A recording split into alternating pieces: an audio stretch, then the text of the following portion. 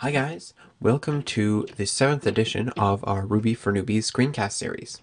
I'm Andrew Burgess, and in this screencast, we are going to look at working with directories and files in Ruby. So let's jump into that right away. What we're going to learn today can be done, um, for the most part, in IRB. So that's what we're going to do. So I've got a terminal window open here, and we're going to open an IRB prompt. So Ruby has two classes that are going to be kind of the domain of the fun functions uh, we're going to look at today. The first is the dir class, and the second is the file class. And as you'll probably guess, dir works with directories and file works with files. So let's start with dir. Um, if we we can look at the methods on dir um, like this, dir.methods.sort. Methods is just an array, and here we're sorting them, and you can see we've got all these methods here. Um, but we're only going to look at a couple of them, and let's start by looking at um, dir.pwd. So pwd, you might recognize this from um, just pretty much any shell. Um, for example, here if we open, if I open up a new tab here in my terminal, and I just type um, pwd, you'll see we get slash user slash Andrews. PWD stands for print working directory. Print is the verb, so telling it to print out the working directory or the directory that we're currently working in. Just like a shell, Ruby has the idea of a current folder. And so, as you can see here, our current folder in this case is users Andrew desktop, which is the folder that I started this IRB session in. Okay, so that's pretty basic. Um, what about changing the directory? Well, if we go dir.change directory, then I don't have any folders in the desktop, so I'll pass it a string and I'll go back up one, and then I can go down into the documents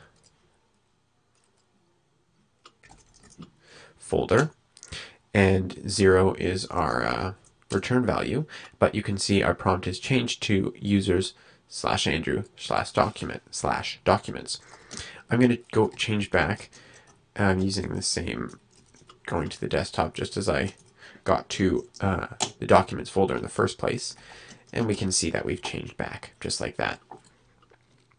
Okay, so what if we want to uh, do something with the files in this directory? Well, there are a couple ways to get them. First of all, I'll mention that whenever we, we get a list of files or a file from a directory. They're always handed to us as just strings. They're not an actual file object in Ruby. They're just the string, which is the file name, and from there we can do what we want to do with it. So the first method we'll look at for getting files from a directory is the glob method. Now, glob is a a class method, just like uh, pwd and uh, change directory, chdir, as we've looked at.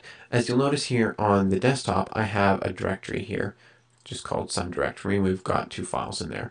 So let's say we want to, if we say glob, what this is going to do, and we're going to pass into glob a pattern.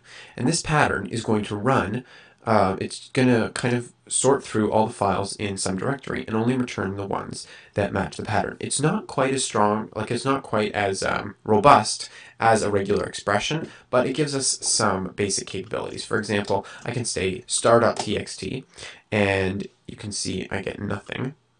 And of course, the reason I get nothing is because I haven't changed, I'm not inside that sum directory, sumdir yet. So what I'm going to do is say change dir into some dir, and now if we say dir.pwd, we, you can see we're in there. Now if I run glob star.txt, you can see we get an array with file.txt in there. I could change this to file.rb, and we'll get that as well. I'm sorry, star.rb, and we'll get code.rb instead. Besides using one star, we could use two stars to refer to any level of directory. So if we did that, we would get code.rb, but if there was another, if there was a folder within some directory, we would get any Ruby files within that folder as well, and any folders, star star or asterisk asterisk, is just kind of a recursive directory structure thing. Um, we can also use sets of characters as you would in regular expressions. So we could say within the square brackets, so we could say A to Z, and this would give us any files that have a one character extension. If we do A to Z, um, A to Z, we should get code.rb because we're asking it for any file name dot two single um, an A to Z and an A to Z. So we have the R captured by this first set and the B captured by the second set there.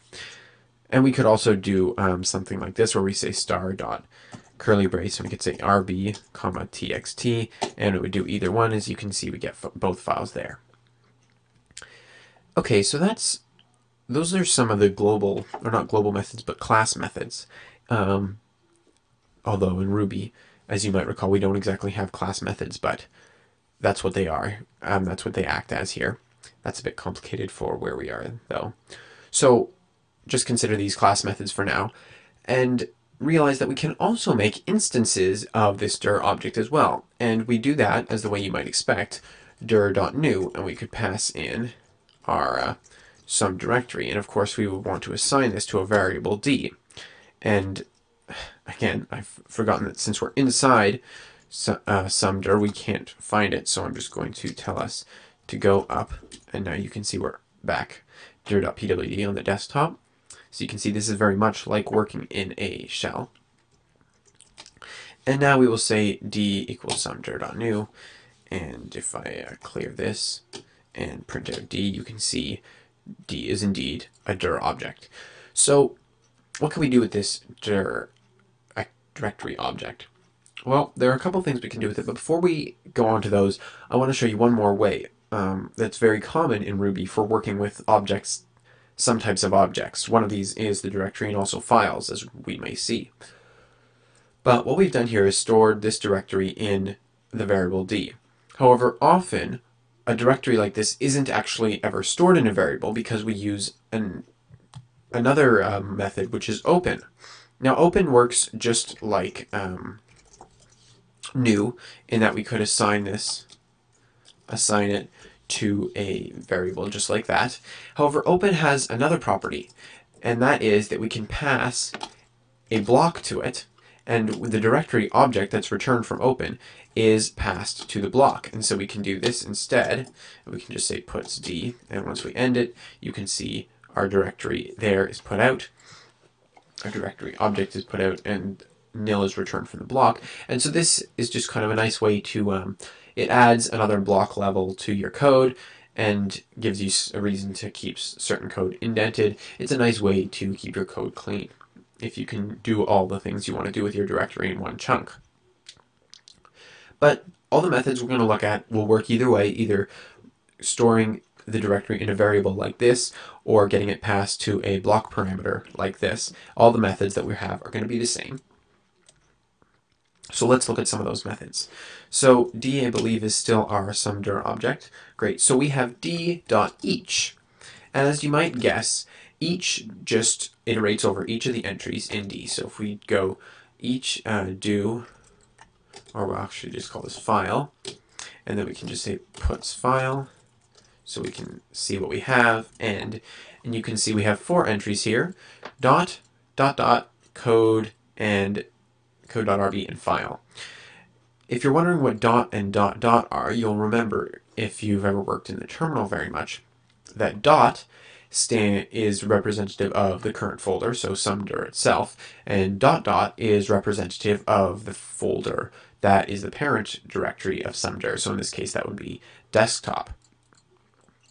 And these are actually considered to be um, directories um, in their type. There, those are directories well, these are actually strings, but these are directories if we, we'll see how to find out the directories a bit later. However, you may not want to iterate over them like that. You might just want to get all the entries. And so for that, we have just the entries um, method, which just returns to us an array of all the entries that are in um, the directory. It's pretty simple. And that is basically what we're going to the extent of what we're going to talk about directories. There's a bit more that you can do with them, but those few basic steps are really going to be the majority of what you're ever going to use. So let's move on to talk about files. As you might guess, the file object, or the file well, it is an object, but the file class is the container for all of the file methods and um, the way to create file objects. The first thing that you may find useful is the absolute path method. So if we uh, dir.change directory back into that sumdir, so we have some files to work with, we can say uh, file. So we know that we have a file in there called, uh, what was it called, file.txt. However, we want to know the full path for that file. Well, we can say file absolute path file.txt, and as you can see here, we're returned the absolute path. And this helps if you're ever having issues with absolute and relative paths. Having an absolute path makes gives you the absolute certainty that you've got what you wanted. But what if we want to go the other way around? Let's say we have an absolute path, and so let's just take this absolute path that we get here and store it in the variable path. So path equals what we'd expect there. Let's say we have path and we just want to get the file name out of there. Now, of course, you can do the work yourself, or at least you might think you could, but it might not be as simple as possible because remember, here we're on a Mac, and on Mac the directory divisors are forward slashes. However, on Windows, I believe the directory separators in a string like this or a path are back slashes. And so if you were going to do this um, thoroughly, you would have to, you couldn't just divide the last backs or forward slash, you'd have to figure out, well, what operating system are we on? And, you know, there's more than just Mac and Windows in the world, so is there something else that I should be looking for? Well, Ruby has that all figured out for you. In the file.base name path, or file.base name method, if we just pass it this path, and you can see we get file.txt out, which is the base name, file.base name has a uh, can take a second parameter, which is any suffix of the file name that you want to take off. Most often, you would use this just to take off the extension like that. So you can see we've passed in the paths and we know this is the extension, and it'll take it off. Of course, if it doesn't find that extension, it won't take anything off. But the neat thing is that this isn't kept for just the extension. If I just wanted to remove xt from any file, you can see we're returned file.t. So it just really treats that as a string and says, you know, anything you want to take off the end, you can, but most often that would be the file extension. Okay, so let's see what else we can do. Well, while we're talking about divisor, file, or uh, directory dividers like this, let's talk about a really interesting method, file dot join. Let's say we have uh, dir.pwd, in this case is some dir, and we want to we want to make the absolute path. But let's say we didn't have the file.absolute path method. If we were going to make something like that, or if we just were going to form it from scratch, we might say dir, or we could uh, just do a string interpolation here, say dir.pwd forward slash uh, file.txt, and that gives us this string that we'd expect. But if we were writing a script that's going to be used across multiple operating systems, that wouldn't work. So what we would want to do is use the file.join method. And basically this takes as many parameters as we want to pass it. And so we can just pass it dir, uh, .pwd, and we can pass it uh, file.text, and it will do what's appropriate for the operating system and return us the appropriate path. And of course, this can take as many as we want, so we could have done, um, you know, users Joe uh, documents some file uh, dot doc, and it would pass us exactly what we expect, just like that. Okay, so that's the file dot join method.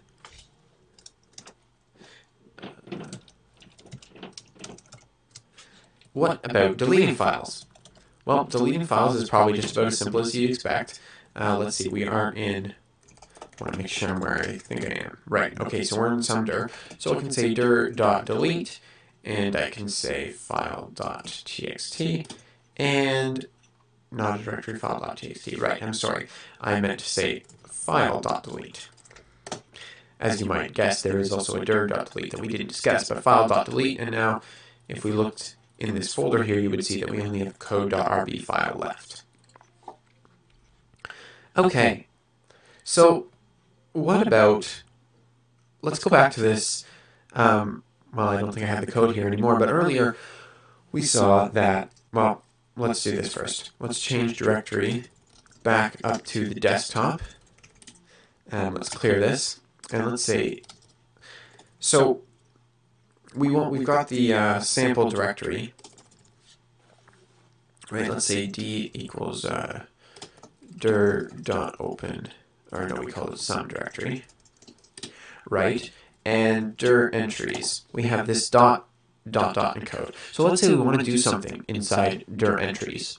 We want to print out all the entries. So the way we, as we saw, we could go about that would be dir dot each do file uh, puts file and and we have our three entries put out here. But we don't want these directories, the dot dot dot, and if there were any other directories in there, we don't want to, we just want to ignore those. We just want the files that are in there. How could we do that? Well, the file has file has a neat method that is called directory question mark. Let me make sure that's spelled right. Directory question mark. And then it takes your directory name there. And as you can see in this case, it's saying dot dot is indeed a directory from where we are. However, if we said something like um, file.txt, now I know this file doesn't exist in the current directory that it's looking at, but if we actually did something like uh, sumdir slash code.rb, code.rb, then we'd be talking about a real file, but still, it's saying false because this is not a directory. So this is a great way to check if we're having a file, if it's a file or a directory. And so what we can do here, we have d, which is some directory. We can say d.each, do, and pass in the file name. Then we can say next if a file dot directory file name puts, oops, uh, puts file name. I don't think I should have. All right, we're going to have a mistake there because I accidentally put in a uh, line break. Um, but let's look at this here. Puts file name end. And as you can see here, we get code.rb put out. So what exactly did I do there? This is the fancy line here that might have you tricked a bit.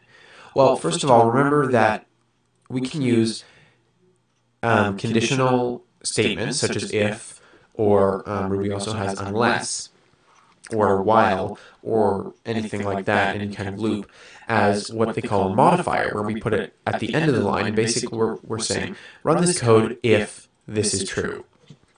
So what we're saying here is next. We haven't discussed next in this series, but as you might be able to guess, guess, next just says skip the rest of whatever we're supposed to do in this loop or this iteration and go grab the next item and start the next loop. So what we're saying here is go to the next loop or the next item in the directory, the next entry, if file.directory file name is true. So if the file name that got passed in is a directory instead of a file, then skip it. We don't want to work with that. We only want to work with the file names. And as you can see here, that worked. We only got code.rb output instead of the dot and dot dot as well. Okay, so now that we're familiar with some of the class methods of file, let's talk about creating instances of the file method, or the file class. And as you can probably guess, there are two main reasons we would want to do that. The first one is reading files, and the second one is writing files. And as you can probably guess, we have file.new. And uh, let's mm, um, change directory into sumdir one more time here and we're going to say file.new. Now this file name can be either a file that exists or one that we want to create. It doesn't have to exist. And we're going to say file.new, and in this case, since we're reading, we're going to choose one that's um, exists, and then we have to pass in a mode that we want to open the file in. So there are a couple of modes. The four most common ones are going to be R, which stands for open it in read-only mode. The second one is W, which stands for open in write-only mode. And in this write-only mode, um, we're going to overwrite anything that's in the file. So basically, we want to open code.rb, but if there's anything there, or basically if the file exists, we want to just wipe it clean and start with a blank file. There's also W+, which is reading and writing. Again, if there's anything in the file, it'll wipe it clean first as it opens it. And then there's A, which is write only, but it will append to the file. So we have read, write, append, and write plus, which includes reading. So just remember that anything that has a W in it completely overwrites what's in the file. So A will write to the file, but keep what's already there, append. So in this case, let's say we want to open it for reading. Now what choices, what methods do we have for reading a file? There are a couple. But first realize that whenever we read from the file, it keeps track of how far down the file we've read, and will only, and it won't allow us to um, without us specifically telling it to, it's not like we can loop through the file. We read through the lines once we hit the end of the file, that's it. And we're reading through them in a linear way, so there's no way to just back up a line or two. What we do is we read through the file, and if, and any, if at any point you'd like to go back to the beginning of the file, you can do so by calling the rewind command on the file. And I just realized I haven't captured this in a variable, so we'll store that in the variable f here. So if we say f.read, it's going to output everything that's in the whole file. You can see we have puts hello world slash n, so we have a new line there. And that's the entire contents of the file. And if we say f.read now, we get an empty string because there's nothing left in the file. If we say f.rewind, it puts us back to the beginning of the file, and we can say f.read once again. And we can get the next thing. But let's say we don't want to read the entire file, file at once. And the problem here is that this file only has one line of code in it. So what I'm going to do is I'll just, uh, let's see if I drag it over here to Vim. Uh, let's put a few extra lines in here. We'll put, or puts, we'll say um, x equals 1 plus 3, puts x, um, puts end of file. That's enough for now. Um, we may have to recreate this file just like that. Okay, so now if we say f.read as before, you see we get the entire file in one string with new lines uh, in, in there as this backslash n. So now let's rewind the file. Okay, so we can also use f.readLine. And as you can see, we get the first uh, line of the file there. If I call the same method, we get the second line, third line, fourth line, and if we call it again after hitting the last line, we get f, uh, we get uh, end file error. The end file has been reached. Um, an alternate to this, let's say f.rewind first, would be f.gets. And gets just returns us the very same thing, one line at a time. The only difference is when we call f.gets after reaching the end, we don't get an error, we get just nil, which may be preferable depending on how you write your application. If instead of wanting to get uh, each line one at a time, you want to get them all at once, but not in a single string as we had before, you can use f.read lines with an s on the end there, read lines plural. Now we get each line, except each line has become uh, an entry in an array. And so we have an array here with each line as an entry in the array. And of course, after this, if we try to read lines, we get an empty array, or if we want to read, we get an empty string. If we call gets, it's nil. So just like the others, it reads us through the end of the file and leaves us there. Okay, let's look at one more way of doing it. You would probably think, if you think about Ruby for a while, you'll think, or you'll understand that this makes perfect sense in having this method here. And that is f.each. Ruby likes that each method, and it does exactly what you think, and then it passes each line to a block. So we can say line, then we can say puts line, and, and here we get each line put out, just like that. One by one, it'll pass each line to the block and do exactly what you expect. Okay, finally we have writing. Let's open a new file here. We're going to use that same variable f, file.open, uh, let's call file.txt, and open up W there. And we can use f dot. There are actually only two ways to write to a file. f dot puts, so we can say, uh, or actually let's call this first line, and f dot. right. And we'll say second f dot write line. And the reason I've done it this way is to show you, well, first two things, puts returns nil, and write returns the number of characters we wrote. but, also puts by um, um automatically adds a line break at the end of the string that we're submitting. Meanwhile, write uh, does not do that. And so here we're actually we've actually only written two lines to this file. The first is the first line, and the second would say second line. And so if we change f here to be file dot open, and actually what I'll do here is I'll show you how to use the alternate version. Here we can say file dot open file dot txt. We want to read it, and then we're going to say do, and we'll take the uh, actually it's not a line, it's a file object that we get passed into the block and then, we can say, just say uh, uh file.each do line puts line and end. Okay, you can see that nothing's put out. And that may be because we haven't actually closed the file yet. So what I'm going to do here is I'm going to say f.close, which I believe is how we close the file. And if we look at it in here, you'll be able to see that indeed we have first line and second line. Now let's try to read this again here. Let's clear this and, and say file.open file.txt. Actually, wait, are we in the right? Yes, we are. Okay, so we have file.open uh, uh file.txt, and then we can say read. And we're going to do file. And so let's just say puts file to make sure we're getting a file object there. Yes, we have exactly what we want. And now in here we're going to say file.each do line, and we're going to say line uh, puts line end. end, and there you can see we have it properly. First line and second line, exactly as you would expect. I should mention here that the actual file class is inheriting from Ruby's IO class, which is where it's getting all these, it's getting the ability to open files like this and the ability to read files and write to files. That's all from the I.O. class.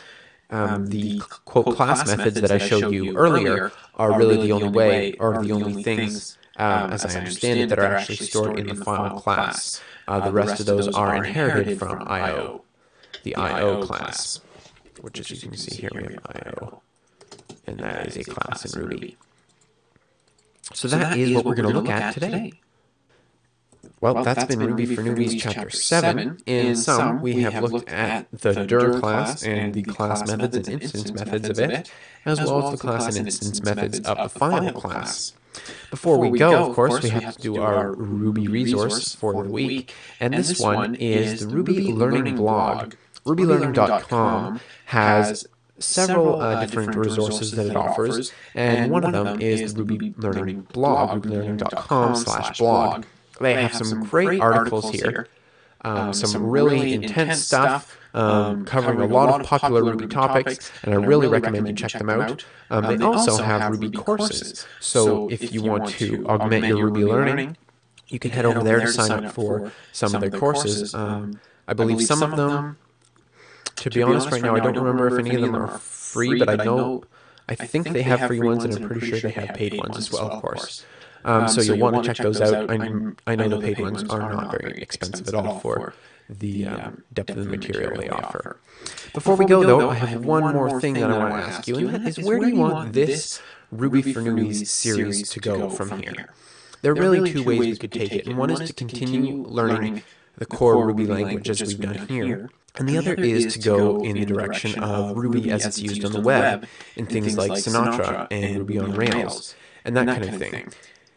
Both, Both directions, will be really useful to you as a web developer and as a developer in general. But I'm wondering, what did you guys, as the ones who actually watch and read this stuff, um, I want to know what you would like to see. So, so let me know, and I'll give that some consideration before we move on with this series.